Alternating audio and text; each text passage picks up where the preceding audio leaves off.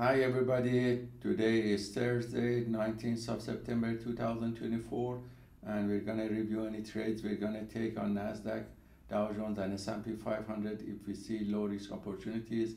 As you see after the Fed announcements of half a point rate cut, the market became very bullish as expected and broke the previous range and it started to go up during the Asian and London session. And by looking at 10 minute macro chart, we see after New York market opening, the prices started to go up and now have a pullback now and retesting the previous level of support here and point of control. So our plan of action is to wait for the price to have more pullback and when the buyers come back, we take long positions when the uptrend channel is established. So stay tuned and we're gonna update you with the recording of all trades that we take live. So we're back now and as you see the market here had a deep pullback and is retesting the previous level of supports. And you see from order flow that the buyers are coming back. So we took some long position on Dow Jones and also we have one position on S&P 500 that is just closed with profit. We're waiting for the Nasdaq to show some pullbacks and then enter long position. It doesn't give any pullback so we're setting several limit orders to see which one can be filled. So we're gonna wait for deeper pullback on all E-minis then take long positions. Now the profit taking is happening on this bullish move.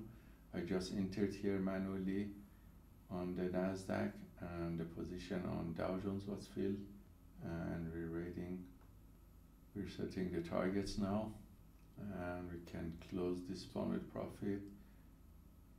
More positions closed. We re-enter again if we see good opportunities because the bullish move on the daily and hourly chart is strong so we just take every pullback as an opportunity with setup T to enter trades and add to the positions and then we close it on the upper area of channel.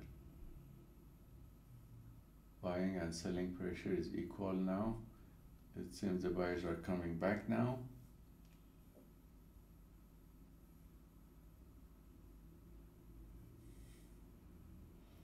We just close one position with profit. Another one is left. I just closed this one because it wasn't going up very well. Looks like buyers are coming back now. I entered here manually one position the target on the upper area of channel. I'm setting another limit order below for the better average.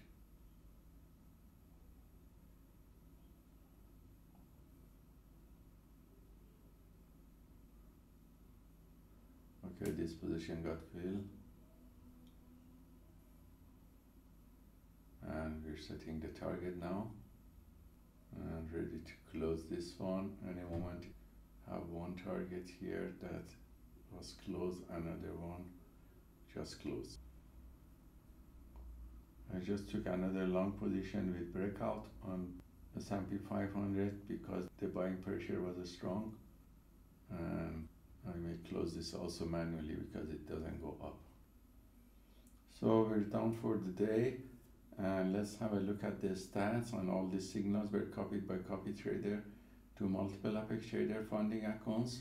And we see here the performance on this account which shows it was positive with profit factor of 18 which is coming from 66% win rate from the long positions taken and average win to loss ratio of 9 the largest winning trade was 280 and the largest losing trade was $24 so hope this trade taken by the PAAT system for faster scalping is useful for you and let us know if you have any questions.